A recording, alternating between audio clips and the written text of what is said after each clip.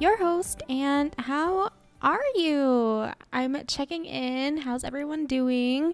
It is currently Palm Sunday, so we are heading into Holy Week and I'm really looking forward to a few days off next week. Um, that's an understatement. I'm very, very, very excited. to a few days off next week. And yeah and uh, i mean obviously of course reflecting on what jesus did for us on the cross 2000 years ago. So um but how are you guys? Uh truthfully especially after my last episode, I wish I could say um, I turned over a new leaf, but it's as if like after that episode was published, I got tested even more. I gotta be honest, y'all. Last week was not pretty, and I knew it. I felt it. Something happened the on Monday, last Monday, and it completely. I'll just say it irritated me the entire week. It I couldn't shake it off. I knew it was bad, um, but I couldn't shake it off the whole week. And so I'm just glad last week is over and we're going into a new week by God's grace. And I'm I'm praying that this week is much better than the former week. But anyways, I hope you guys are doing well out there. And today I just wanted to talk about sharing your story and the importance of being vulnerable and sharing your testimony. Um, I have been doing a lot of research on my skin. I know I've been talking about my skin almost like a little bit in every episode ever since episode two regarding my skin. Um, but I am currently in a season where things are happening to my skin that's literally never happened to me since I was a baby. And I obviously don't remember it back then. So, what's happening right now, I'm just, it's a whole new world to me, let's just say. So, on Friday, I uh, was uh, listening to some podcasts, specifically from the National Eczema Association, I think. NIA, yeah. And um, I, I was so surprised that there was even like a podcast um, dedicated to that. And I just heard so many different stories of people who have eczema and are going through something called topical steroid withdrawal, which I believe is something that I'm going through myself. That's a whole another episode. I won't even get into what that is, but um, you're just basically trying to let your f- skin heal and it's a process. It gets ugly before it gets better. So, anyways, I've been, um, I was just listening to podcast after podcast of these episodes, and honestly, like I, I to to hear stories and testimonies and um, to be vulnerable is not something totally out of the norm for me. I'm very comfortable in doing that. I think just because I've shared so much on the internet over the past decade and um, being in the church body, you know, it's it's it, it, and and being in the small groups that I'm involved with every week you're just sharing you're just you, you constantly are just opening up and sharing and um, we encourage that of course because if in order to heal and in order to just kind of get it out you have to share you know what's going on in your life or what's going on in your heart um, no matter what the situation may be. And so um, I've always, you know, just I've heard so many. Um, I guess nothing really surprises me at this point if anyone ever sh- were to share anything to me. Um, but it's really, it really hits different when you are going through something um, that you're a little uncertain about and you're a little insecure about and to hear other people go through what you are going through. And so, as I'm listening to these podcast episodes and I'm just hearing stories about couples who, um, you know, have um, skin skin issues, skin conditions, or I hear um, specifically there was this one guy who's actually just still in college and um, his skin was so bad that he actually had to go to the hospital because um, like in, an infection because his skin was was so broken and um, oozing because of his eczema. He was sent. He, he had to go to the hospital because he was starting to. Um, there was actually infection. Uh, in his body already. It was that severe, and he literally almost could have died. And you hear all these stories too of um, people who have considered taking their lives because it really it it it changes your just the way you live, the way you socialize, um, your mental state for sure takes a toll. And I have to say again, like I mentioned in episode two, I am nowhere near where what these guys have um, ex- are have experienced or are experiencing but I'm definitely feeling, you know, some like social anxiety. Um, and it's definitely taking some, um, it, it's, it's uh, definitely taking a toll mentally. You know, it's one of my biggest insecurities. So as I'm listening to these podcast episodes and I'm, uh, there are some where I even listened to twice. Like I would be, I was so in awe. I was so taken aback of just how much they overcame and how and and their own story and what they had to go through. I was so inspired and I was so encouraged that I would play it again, which I don't nor I normally don't do. Um, I don't really like repeat things like that, like episodes, podcast episodes like that. So that's when I know that something just really hit home for me. And so after probably a whole afternoon, maybe even longer, of just a day of just soaking in all these podcasts, I was just like, wow, this is why we share our stories.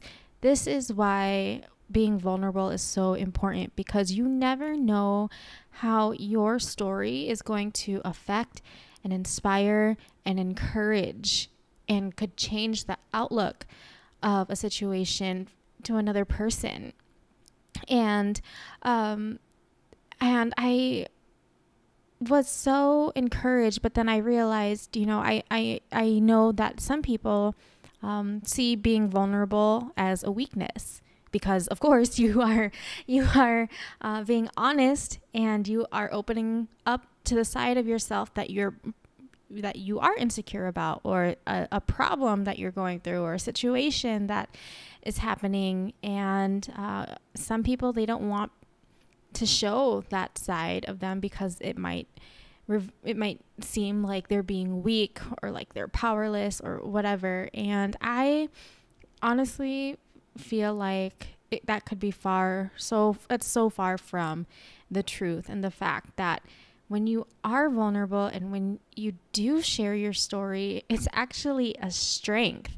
It's actually a power because you are literally declaring how you're overcoming it if you haven't overcome it yet, or how you overcame something if you already did overcome it, and that your identity didn't wasn't your identity wasn't found in that problem or your skin condition or a, a, a drastic life event, but instead you are sharing um, how you overcame it. And I just think it, that that that in itself, especially as you're sharing it, um, is is does not sound weak to me at all, but it sounds confident, it sounds courageous, bold, strong.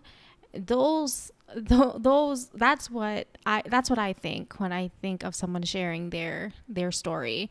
And then I of course, being me, I was like, "Well, hold up because obviously the whole Bible is consisted of stories, true stories.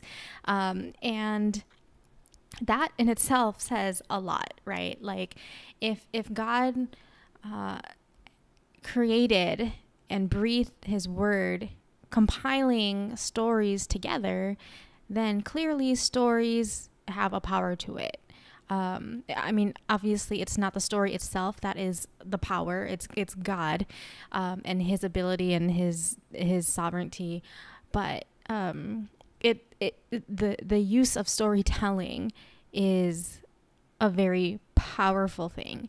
And I really like what Second Corinthians chapter 3, 2 to 3 says when Paul says, You yourselves are our letter of recommendation, written on our hearts, to one known and read by all. And you show that you are a letter from Christ delivered by us, not written not with ink, but with the Spirit of the living God, not on tablets of stone, but on the tablets of human hearts. And I love what mylifetree.com says about this verse. And they said, In a time when letters meant so much to the church, when w- written words and testimonies were being sent from place to place to instruct, encourage, and bring people together, Paul wrote that your story is important. It's meant to be shared so that others can see the work of God in you and they can in turn begin to see the work of God in themselves. Isn't that so cool? I think that uh, I just got I just I just I just had a whole thing. I um, a little moment. Like how cool is that? So I would encourage you. I know it it yes, it it can take a lot of courage to share your story, but if you feel led, if you've gone through something and you feel like it can encourage someone, then share it. And I, I'm not even meaning like online, publicly, letting it, you know, be your first Instagram post and you have this whole caption. Like, not necessarily, but share it with a friend, share it with your group of friends, share it with your family. Um, just, you know, it doesn't have to be super public, but definitely there is a power in sharing your story.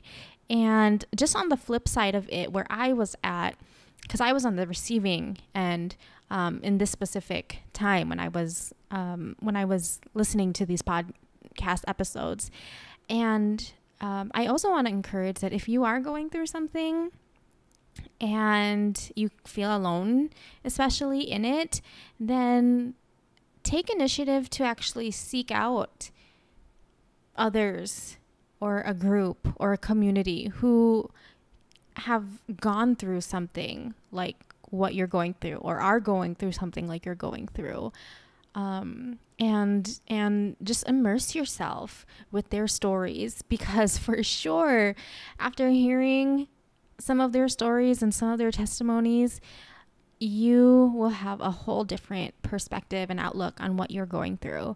And be encouraged. And of course, who doesn't want to be encouraged these days, right? And I I, am still going back to this one episode of the, the, the one guy who went to who had to go to the hospital, and at the end of the episode, sorry if you can hear our dog barking, um, but at the end of the episode, the interviewer asked him um, like something like, um, "Would you ever change?" You know, what happened to you if you could. And this college student who went to the hospital, who had social anxiety, who literally couldn't go, who who who couldn't um, go to school. Um, he couldn't even go outside because he was so insecure and physically, literally hurting from his wounds. He said, you know what? No, I wouldn't. And I know that sounds really crazy now, um, especially after sharing all that I went through, but I wouldn't be the person I am today and have the perspective and the outlook on life and how valuable it is today if I didn't go through what I went through.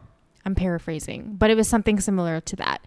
And I was like, you know, you know what? Same, bro. Same. I'm with you.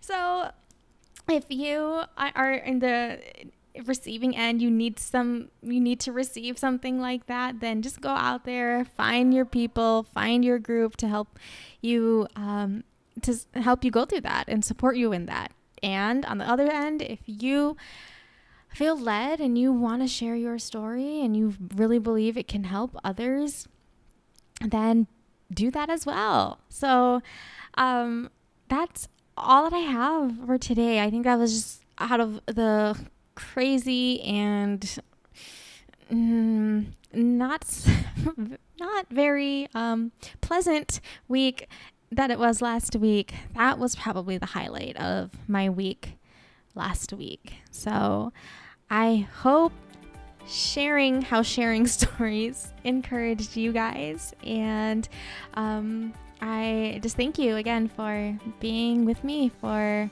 these last few minutes. And I will catch you guys on the next episode. I love you guys. Thanks for all of your support. Don't forget to rate and review this podcast wherever you're listening. And let's never forget, and as we're sharing our stories, as we are on the receiving end, let's get radiant from the inside out. Bye, guys. Have a good one.